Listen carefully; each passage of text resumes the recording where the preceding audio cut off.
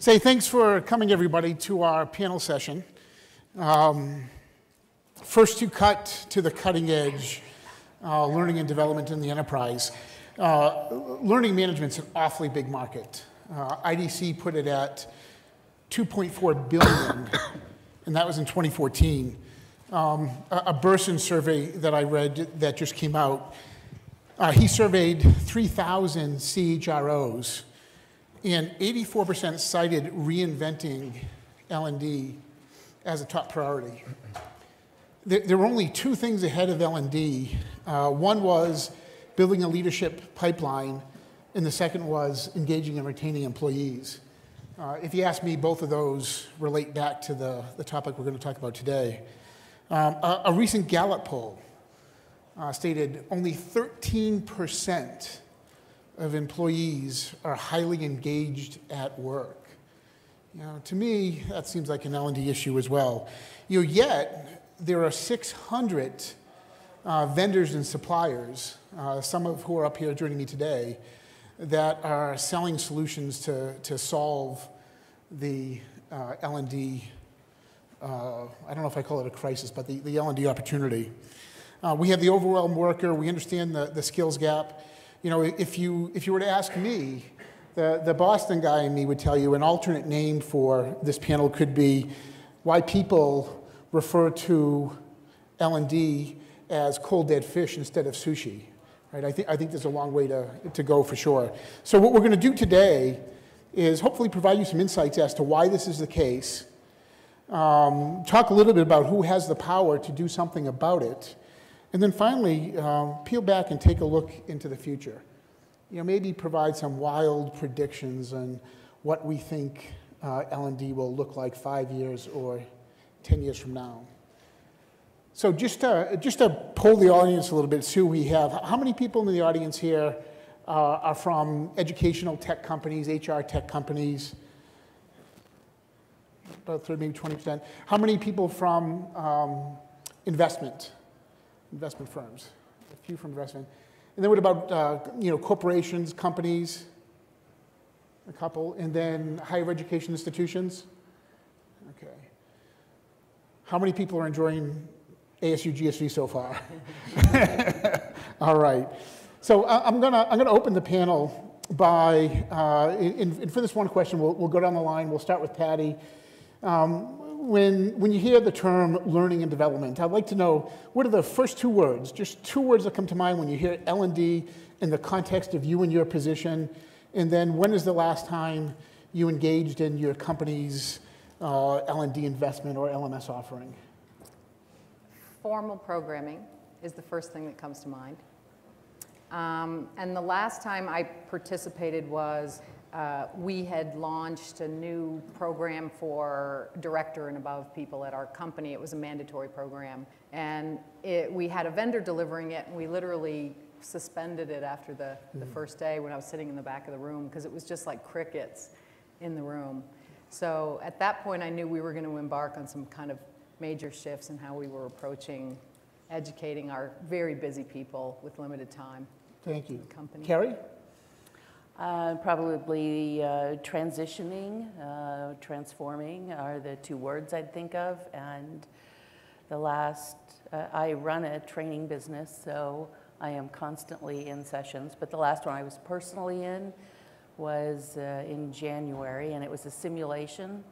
So um, where you ran a company with a new strategy model, so it was very interactive, hands-on. Excellent. Hilary first two words that come to mind, uh, investment and asset.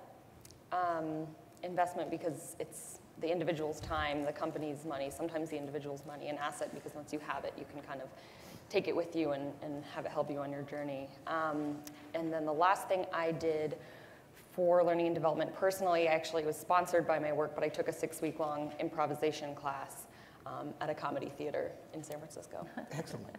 Dave? Uh, my kids, uh, I, I'm on a race to solve as many problems as I can before they have to uh, sort of wade through this. Yeah. And uh, the, the last personal uh, course uh, I did was Gordon Ramsay Masterclass. And it was fantastic. Excellent. Excellent. All right, so let's mix it up a, a, a little bit. you know, please don't hesitate uh, jumping in. I'll, I'll pose questions to individuals, uh, and then I'll pose some questions to the panel. And, and from the audience, if you like something here, don't be afraid to give us some audience feedback. You know, jeers, applause, you know, and, and we'll, we'll go a little bit deeper. So, Patty, going back to the title of this session, um, if L&D was working so well, it probably wouldn't be the first thing cut. Why, why has L&D failed? In, in, you know, particularly in Europe, why has it failed in so many companies? Not all, but it's failed in so many. I- I don't think I would use the word failed. I might look at it as, and this goes to what Karie was saying about um, transition, that the way that we've funded L&D has been through these largely classroom-based programs or even blended learning programs that are actually quite expensive and not really scalable. We have like 26,000 people in um, over 100 countries. And so the whole logistics of getting people out of a very busy, fast-paced job to get out of their, their office for two days is just not po- even possible anymore. Cancellations and things like that. So I think um, that's one piece, is that the model itself isn't really fit for purpose in the way people work today. The second piece is that um, people learn differently. And so a lot of our population are living, uh, you know, using Pinterest and Snap and Uber and, and Spotify. And so when we say to them, sit down in the classroom for two days and we're going to have a sage on the stage directing content at you, it's not the world that they live in or that they want to live in. And so we're, we're seeing enrollment and interest in those kinds of programs drying up um, for a variety of reasons. Yeah, I mean, even if, even if you look at the MOOCs, there's a, a lot of courses that people sign up for, and there's just, the incompletion rates are going off the, the charts. It's huge. So Dave, how would you respond to, to Patty's challenge that you heard? You know, um, it's, it's always interesting the titles that they give it. I mean, you, you yourself tried to retitle uh, our panel, and uh, I think it was interesting. I've never heard the analogy, the dead fish versus sushi, but so much of this challenge is actually about the framing we give it. And so, you know, those, those challenges she's talking about, if we can, we, we, we just have to reframe. And so I think uh, hearing the last um, things we did personally as, as part of our L&D is interesting, but inside companies now, you know, the lens and the framing by which we give this equation and this problem is, you know, what do our people need to know here and now to be suc- successful at this company? And, you know, what do we, are we going to force them to do? And then sort of what are we going to um, ask them to do? And then what things are we going to empower them to do? And I would say we could probably fit most vendors' products and conversations sort of in that framing and in that lens.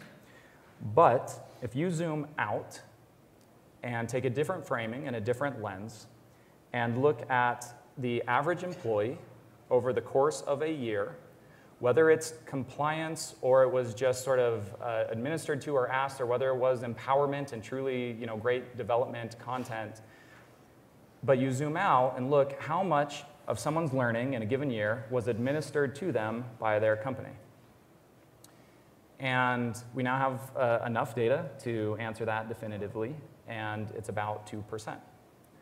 And so here we are, we're having conversations, and we're asking these questions, and we're trying to fight through the future and wrestle and solve it and figure out what the next iteration is. And yet we're, we are more or less having a conversation uh, of, you know, here at this conference, optimizing 2% of, you know, the equation. And we need to reframe it. And we, we need to reframe it around what is 100% of the learning that people are doing, and then bring it back to, and what does that mean for the organization? How do we calibrate it? How do we optimize it? How do we get line of sight? How do we maximize it? So who's responsible for making that happen? Yeah, I- yeah, uh, how, how do you get this to happen at scale? Who, who, who's ultimately responsible? I believe unequivocally the employees are, you know, um, but I don't know that there would be consensus on, on Yeah. that. Does anybody have a, a a take on that? Who's responsible? Yeah, I do, and I've, I've put a lot of thought into this, and, Yeah. and I'm going to disagree with David, um, even though I love everything he's doing at Degreed. I think um, really it's whoever has the most data on what do you need to learn. Again, I was talking about it as an investment. I mean, for an individual, even if their company's paying for the learning, it's their time, which, you know, everyone has a lot of stuff going on. So even if it's just putting time in to learn something new, they need to be sure that they're learning the right thing. And I think it's the individual's responsibility to take control of their career path. But in terms of, you know, the average shelf life for skills having between two and five years, an individual doesn't really know what they're going to need in five years. I mean, potentially some do, but I think companies can see a little bit further down the road and see we have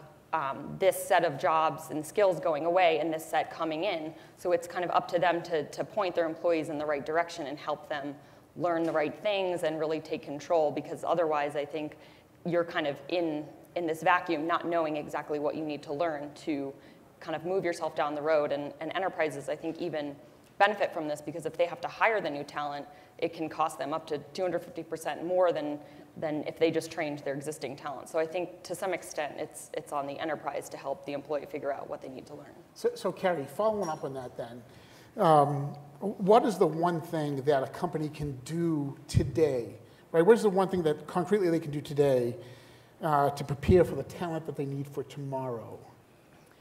You know, well, I, would like to take a different perspective than the other panelists because I've actually been the CLO of five different Fortune 500 companies. So I know what it's like to be in there trying to plan the budget, plan, uh, uh, you know, for the needs of people as well as the needs of an organization.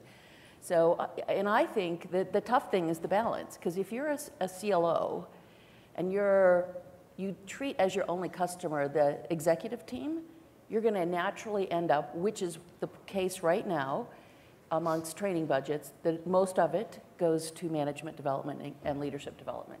And then we leave this vast, you know, uncovered, essentially, you're on your own kind of thing with maybe a few guidelines.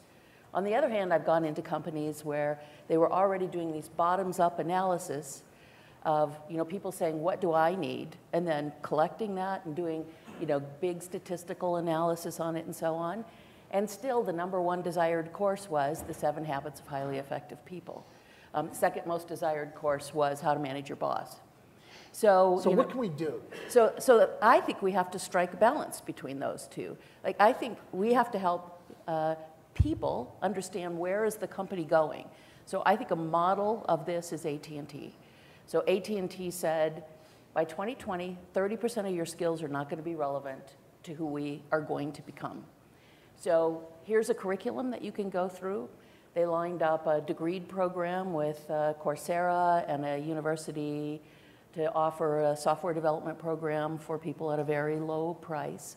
They said, here's the kinds of experiences you should go collect and tried to get people ready for, and they did that two years ago, so they were doing it five years out to say, here's what you need to do to get ready, and you're kind of on your own, but we've set up some ways for you to go do it. And they, they did set a mandatory course of here's who we're going to become. So I think this balance between a company saying, here's where we're going, so you can adjust whether you're going to fit and your skills are going to fit, then informs the person so that they're not just randomly picking. And I think Seven Habits is a great course, but I'm not sure it's going to be the one that prepares yeah. you for the future. So, we're, so talking about how these initiatives get funded, if you look at L&D, um, it's managed out of a cost center. Um, Patty, should, should L&D be managed out of a cost center? And is ROI the, the right metric? How do you measure ROI? How do you know you're being effective? And, and if, if, if HR is not the right place to manage L&D, where should it be managed?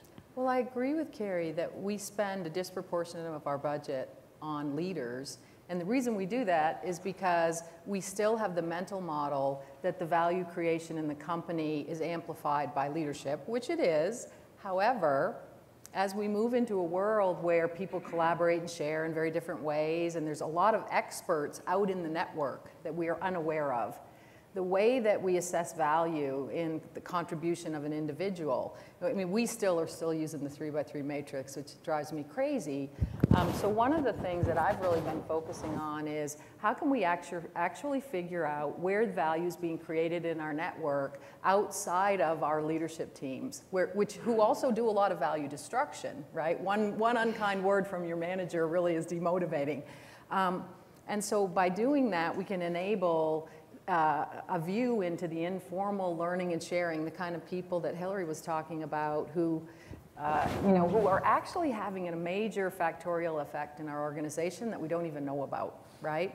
And what's sort of scary for enterprises is that those people, those people that are always helping others and looking out for other people and going the extra discretionary effort to help others and to make the world better are often the people that can go and leave and go elsewhere if they're not recognized in these traditional uh, ways of rising up through you know Fortune 100 companies. So for me, my mission has been to actually create a learning ecosystem where we can get a bird's eye view into who's sharing, who's collaborating, who in the net, who does the network think is the most valuable person. And in that way, we can get at a different kind of ROI outside of, oh, we spent, you know, $150,000 on so-and-so speaking at some executive conference. So, so it looks like we're going to still manage L&D out of HR, which is okay. Uh, but so that brings up another thing. You, you, your comments made me think of something else um, around mobility. So you, Dave, um, employee mobility in L&D i- is is portability at odds with corporate goals? How, how do you how do you put your head around that? Right? You have Patty making a massive investment at Shire in L&D, uh, but yet, uh, you know, I think what a lot of employees want is portability.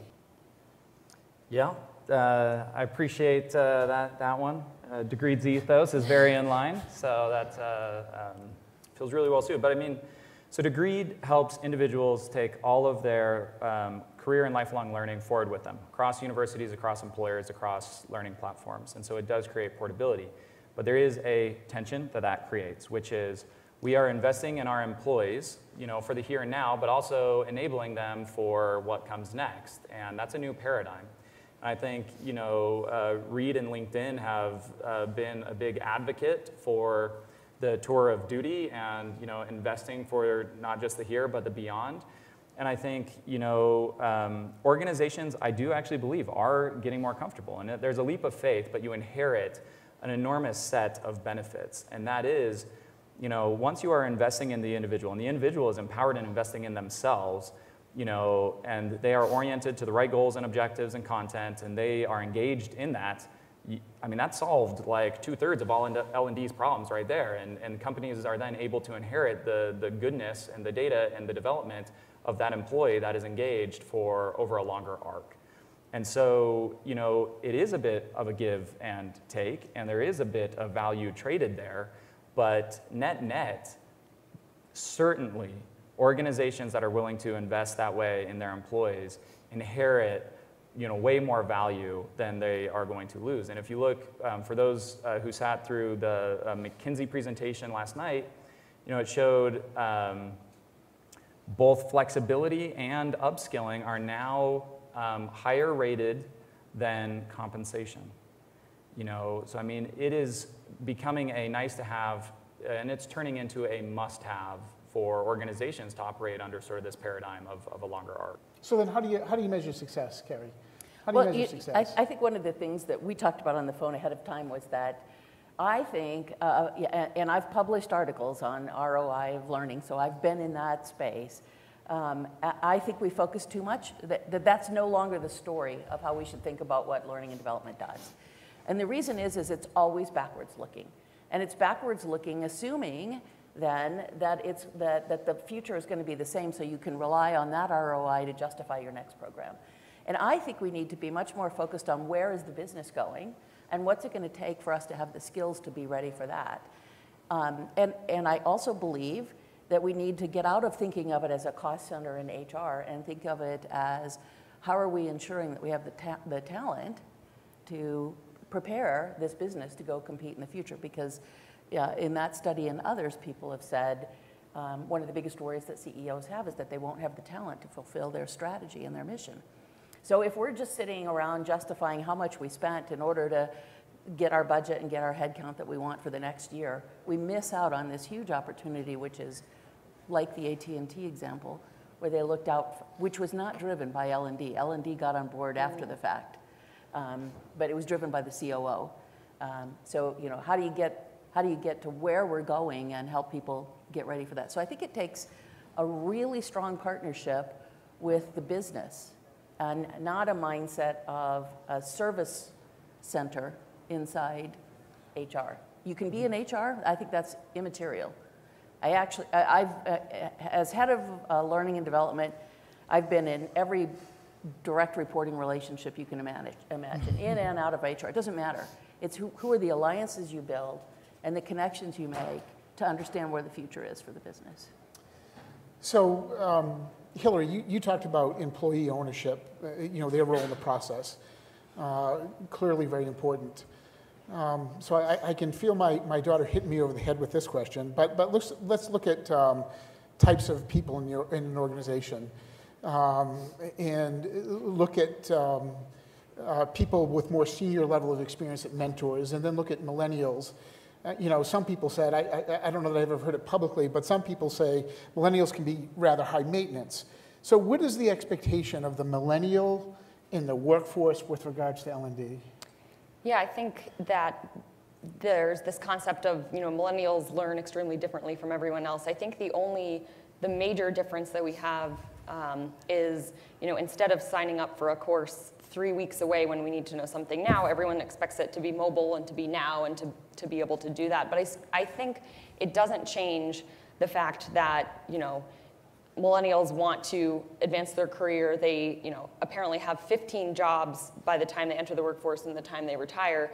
So I think this, this idea that being able to have a portable kind of learning equity that you can take around with you is, is really important to Dave's point. LinkedIn's doing the same thing. We're kind of requiring you to bind your LinkedIn account with your LinkedIn Learning instance so that you can take that around with you.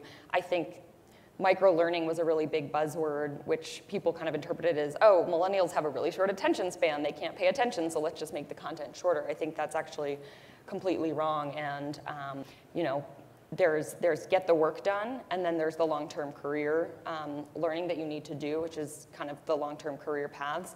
But in the end of the day, I think the, the job of, of kind of HR and learning is to make sure that content's available, make sure it's available in the format as well uh, for mobile as well as kind of the in-person training, but just allow them to kind of learn on their own schedule. So for the panel, uh, what do you think it's best to make our workforce up of? If, if you had to choose one, do, do we want smart people or do we want learners? Do you have to choose? Yeah. I think, well, I think smart people are learners to some extent. I think um, what we've seen is the jobs that people have now probably didn't exist in the past, and that's just going to become more and more pre prevalent. So you need to kind of learn how to learn. And um, I think if, if you have the kind of learning mindset and the growth mindset, then you can just continue to build up your skills. So um, we ran a survey, SAP, with Oxford Economics in 2016, and we asked uh, C-level executives what they valued most in employees, and we had on there, you know, a solid education or qualifications or, you know, a, a, set of a dozen skills. And the number one, by a long shot that they picked, was a continuous learner. So I think the environment for the future is you, you, you have to be, because I, I believe you can be smart and think you're so smart that you're the mm -hmm. smartest person in the room and you don't need to learn anything else because you already know yeah. everything you need to know. And so I think that person is doomed um, in the future. So can you, can you hire for that or can you build that? I mean, I think, I, mean I mean, I was at a conference last year and someone, they were whiteboarding like, what is continuous learning? And people were putting up all these things about what it was. And I said, it's the people you hire, right? It's people who are innately curious, which really, it correlates with problem solving, right? So it's someone that sees a problem and is motivated enough to figure out how to fix it or get to the bottom of it or, or go and network within the organization and figure it out. I think the really big challenge though, and I would you know, love to hear what the other panelists think about it. And I call it, you know, I was an economics person, so I call it shifting the burden. So we in enterprises ask people to go at scale, at speed, faster, faster, better, better, better, and then we expect them to also continuously learn. And I heard someone on the panel in here priorly say, grow or you go. Or you go. And I thought to myself, is the artifact of a millennial shifting companies every 18 months to 24 months really because they're so hungry and they want to go somewhere new, or because the enterprise is failing to meet its commitment to its employees as human beings who come and contribute? And I think enterprises really should be making a deeper commitment to their people in terms of, you know, to David's point, you know, personalizing some needs of that individual with the expectation that we know we work you hard, we know we want to tap into your discretionary effort. What can we do for you? And I, I don't think we're doing that well enough.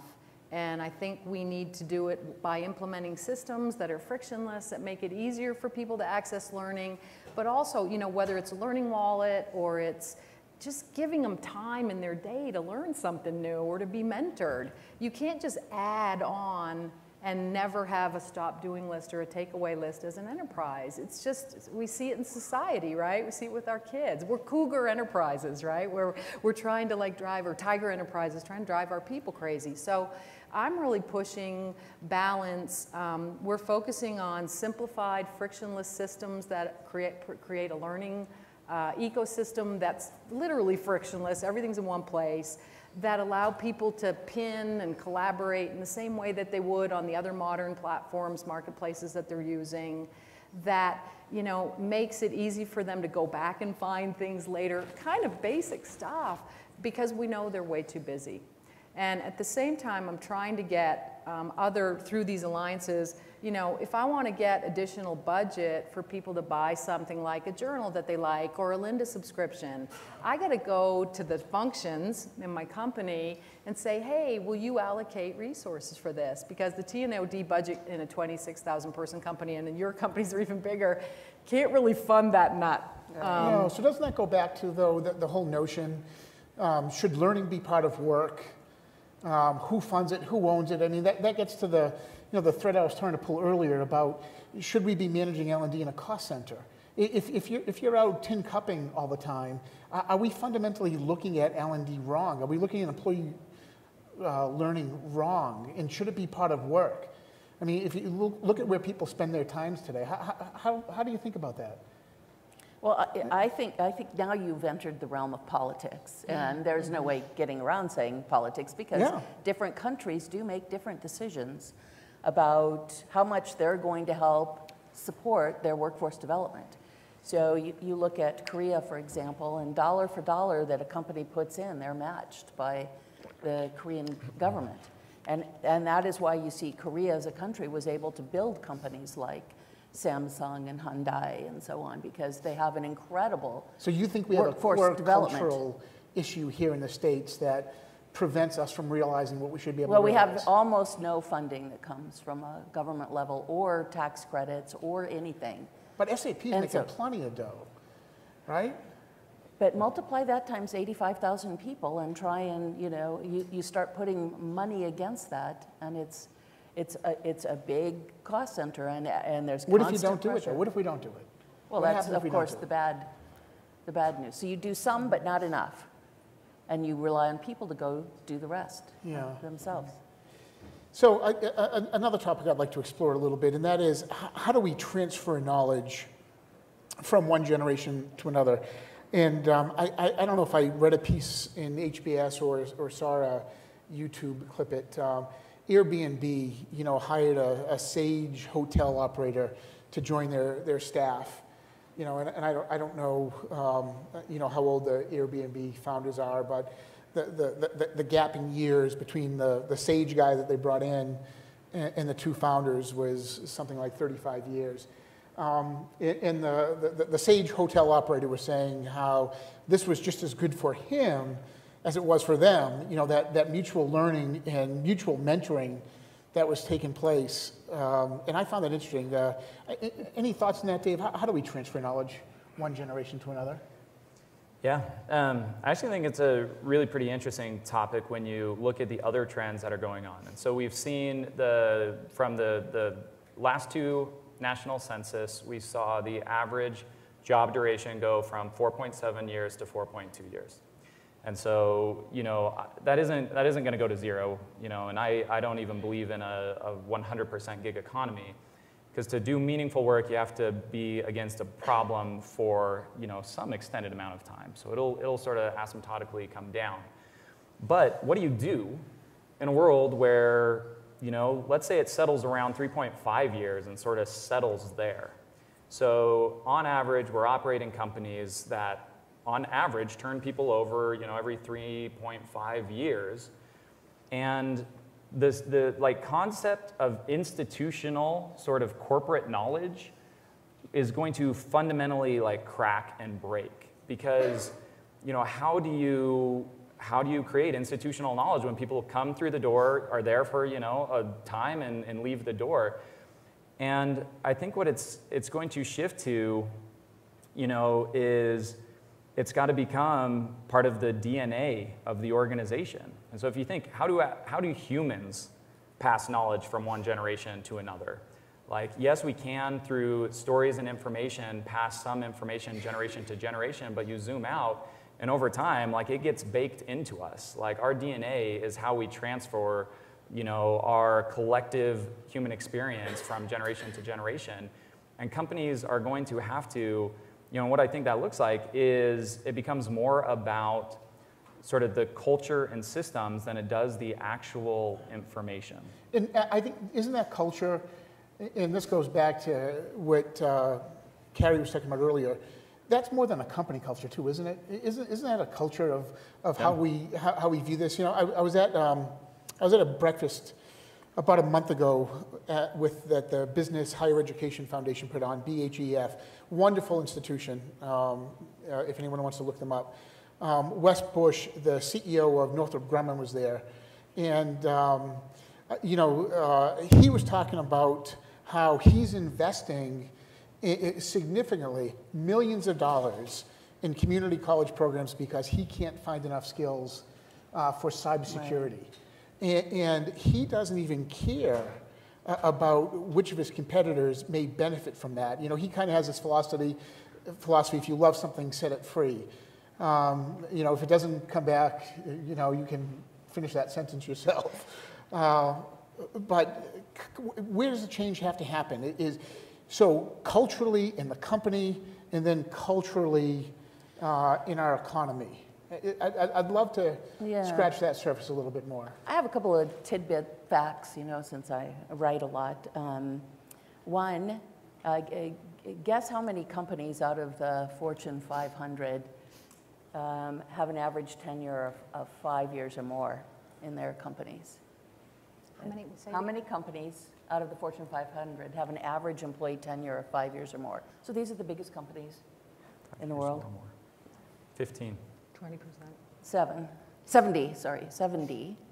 And guess what the average tenure is at Google and Apple, which is identical? 18 months. That's the average tenure. So when we kind of go into this mindset of, well, if I train them, they're, they'll leave, they are leaving anyways. I mean, just let's mm-hmm. face the facts. People are leaving and moving around. So you're going to hold them. There is data that, that shows that if you do train them, they stay longer. So that is the only way to keep people. And if you don't train them, they are going to leave and they're going to go they're going to go elsewhere. Yeah, it reminds me of the, the quote where the CFO is saying, well, what if we train all these people and they leave? And the CEO says, well, what if we don't and they stay? Yeah. so yeah, it, exactly. it actually goes to show that if you do train them, they do stay. So you get the best of both worlds right. with that. Right. I think one thing too, and, and I'll, I'll, pick on Charlie because Burning Glass, when they do a lot of their data, I'm always teasing, teasing them that it's all about the tech space. And so we're in the biotech space, so we hope our R&D PhD doctors are not going to be leaving every 18 months from our. So I think it's a different. Depends mm-hmm. on the mm-hmm. vertical that you're in, yeah, and so does. depending on what your vertical is, you'll see. In, and we find it in in our functions that are related to IT. We fight to try and get people from Degreed, from LinkedIn, to come and work at a biotech company. So it's very difficult for us. But I sort of think it's, um, and I was very proud of our CEO last year. He made a comment that he said that no matter how, uh, whether someone stayed with our company or not, he wanted it to mean something that they learned at Shire. And that made me feel so happy about what, what we were trying to do because it would be a mark of uh, an honor to have, have studied at our company. Should learning be managed? Anybody? Yes. It should be. Yes. Does anybody have the notion that I- learning should I- not be I think it should be guided, Okay, right? Um, You know, and I- I, I, okay. Yeah, gui- yeah, that's- that's a better word. Guided, because um, as, as you guys all know, and I've told Charlie this, like I always tell my, my poor children, I say, life is not a buffet, right? So you're not gonna walk in anywhere you go and someone's laid out a beautiful buffet and you get to choose what you want from it. You are gonna have to build your own buffet. And I think if we create uh, systems in which it's possible, and David's doing this, and LinkedIn's doing this, and you're probably doing this too, where it's easier for someone, we augment their ability to build that, whether you call it a role map or a career path or whatever, they want to be, become a cook or something, that we make it possible for them to do that efficiently so that the opportunity cost I mean, my big uh, fight with, and I'm now I, I don't reside in HR anymore. I'm our company's sort of unique in that because I was going around um, evangelizing about what I thought we needed to do in terms of helping our employees be able to continuously learn. I found myself getting transferred into enterprise platforms. So I now don't work in the talent function. I work for IT. And I work directly with the business functions to evangelize about, and, and my evangeli- evangelizing is typically how can we help? How can we help support you to support your people efficiently, to collaborate, to share, and to learn things? And so I think it's a guiding process. And um, you know, I, I think it is a bit of a service center still. So, so let, let me ask again, because w- w- w- just thinking of myself, when I want to know how to tune the carburetor of my dad's 57 T-Bird, I go to Google, and, and it's real time. Nobody's managing it. So, so why should learning be managed, Dave? So I think this is a really, I, I feel like in a lot of ways, this panel, the conference, we're able to like talk past each other on points. Formal versus informal, self-directed versus mandated, compliance, regulated versus, you know, autonomous versus empowered. Like yes, yes, yes, yes, yes, and yes, but also no, no, no, and no. Like, and but there is a right and a wrong. It isn't that sort of all of these things have to happen. Like you, you can do compliance training, and how I would frame it, just very quickly, is there are different sizes of arcs to learning. And if you think about great um, game mechanics, great games have to have different sized arcs. If you think about Mario Brothers, there are mechanics that guide you second to second, jumping on turtles and breaking bricks and gathering coins. There are mechanics that guide you minute to minute, beating levels, going to the next level. There are mechanics that guide you to come back day to day, advancing into the next world, the big bosses. There is an arc that is meant to keep you engaged from month to month, saving the princess. And great games have to have all of the arcs, because if you miss even one of the arcs, that is where your game breaks. That is where people abandon. And you know, if you frame learning that way, there are different arcs. So just-in-time learning, you cite, you know, working on your dad's uh, Chevy. You know, yes, you can go and watch a Ford. Ford, Real important. important. We're, we're a different generation. Your generation, you know, got uh, to get behind the wheel of a car to escape our parents. You know, my generation got to uh, get on our phones to uh, escape our parents. So I know more about phones than I do cars. Um, but I was pretty good at escaping my parents. Um, but we, we have to have, you know, we have to talk in terms of arcs. So just in time learning, it has to be, it must be. There is only one right answer. And it has to be the individual. That's where the dollars need to buy, be. That where that needs to be where the purchasing power is. That needs to be the center of gravity for decision making. It has to be. There's only one right answer, and I will defend to my death anyone else who wants to take it. But different arcs, there's a different answer. So when you talk about foundational learning, if I want to become a web developer, I don't and can't just get on YouTube and, and you know, combine enough seven-minute videos to get me there. I can't. There is foundational learning, and I don't know what I don't know. And that's when it comes to the guided and mm-hmm. forced and mandated and highly scaffolded. But, you know, any organization that doesn't have a strategy and the right answers for every different size of arc, that is how you grade whether or not a company is good at learning.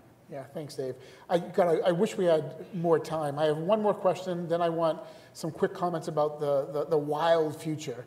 So, an important question that we didn't ask is there are going to be lots of workers left behind, right? I, mean, there are gazillion surveys about uh, uh, workers and automation. What, what do we do with the workers left behind? Well, I think during Michael Moe's uh, talk last night, it was interesting that even going back into, I think, the 1500s, they were railing against sewing machines because it would take away the jobs of the seamstresses making the, making the dresses for the courts. And I think every kind of 100 years, they're talking about the next technology that's going to leave workers behind. And it's true, there's hundreds of thousands of manufacturing jobs that have gone away. But at the same time, that's, that's jobs, not necessarily work.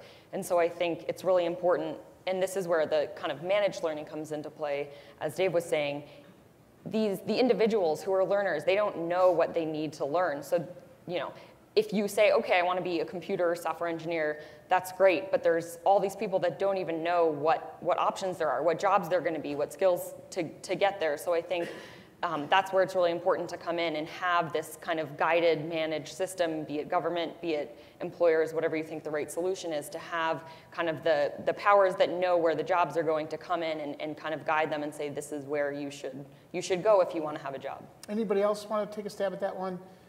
I, I Well, think I, I think there's a word behind. we haven't used that is, I think, the it word in learning and development now, because we keep using the word managed or guided, and I think it's curated Mm-hmm. is the word that I hear people really wrestling with a lot on how to how to curate so that at the individual level, you're not in a random universe trying to connect the dots, even if it's completely your own learning. How can we help curate the content, you know, put, put out there the content that's going to really help them accelerate. And so I think, I think, you know, to head to the future, we, we've got to look at the future and begin to curate uh, journeys and paths that will help people have the skills for the future. Because I think skills that are going to be needed in the workplace are shifting, and they're shifting maybe more dramatically than they ever have. Okay. And So with that, let's, let's move to the future, right? Uh, Last, last set of comments from the, the panel. Um, uh, You know, um, you know, hopefully some people in the audience remember the Jetsons, right? So if you, if you think about the Jetsons, you know, if I could take off the bookshelf and plug in um, learning on some topic I want to become expert at and it's there automatically, wh- wh- what is the future? What is the wild, uh, harebrained view of the future. I, you know, we'll, we'll go down the line. We'll start with you, Dave. What, what is it going to be that none of us can imagine today, possibly? I believe unequivocally the, um, the market wants to speak the language of skills and cannot, so it speaks the language of degrees. And I believe that uh, that will be the biggest shift. Um, and uh, I actually believe until that shift happens, as long as it remains true, tell me about your education and you answer with where you went to university. I believe as long as that remains true, uh, all of the major problems in higher education will persist. So I think that's the, the fundamental shift to taking us into the future. Thank you. Hilary? So I think there's a lot of tech companies in the room also, but you know, I think AI is a really big part of the future. Um, kind of hearing this word a lot, but in terms of curation, I think we'll be able to see people on a certain career path pull exactly the right content for them. Um, going back to the in, uh, knowledge within the company, how you transfer that. Machine-assisted learning, maybe? Yeah, the, this, this company, Slack, just announced that they're going, if you type a question into the chatbot, they're going to point you to the exact right expert to answer your question. So I think Yep. the kind of AI and the ability for computers to figure out what you need to learn. Karie? Yeah, if we're not going into the too distant future where we've got, you know, mesh installed in our brain um, that connects us with our environment, but the, the, the, the close-in future, I think we're going to essentially all be gig workers, um, even if we're in a company. And I think the compensation systems are going to shift to match that. So you, you go from project to project to project, even if it's a two or three-year project. Um, and and we, be, we all become gig workers based on our skills, just like David said, not, Great. not our credentials, not our tenure. Thank you. Patty? I think we're going to see more and more uh, a, a bigger demand for not just skills, but the ability to integrate those skills in a way and explain to other people why it matters. So if you go to a gig economy, and we've all had employees like this where my kids come to me and they'll say, I want to do this, this, and this, and I'm like, why? and they can't explain to me why that higher order of thinking that lets people explain what they're doing and why it matters. And this is why funding, funding is an issue, to just circle back to that, because if you can't explain why you want $85 million to spend on something and really articulate it, not even, not in a metric, but in an inspiring story about how it's going to affect the organization or the world at large, you need to be able to bring those the skills and the experiences together in a way and integrate them that makes it possible for you to keep employed in a gig economy. And that's, that's what agility is really going to be, is it, is a higher order of learning and integration of concepts. And I, I think we need to have systems that help people do that, not replicate it, not say, I know you don't know this, so I'm going to augment it with AI, but actually that you would interact with the AI in a way that lets you use your higher order thinking to, uh, to, to operate in a gig world. So Thanks, Patty. So I appreciate everybody joining us today. I hope you enjoyed the rest of the conference. Um, Thanks again.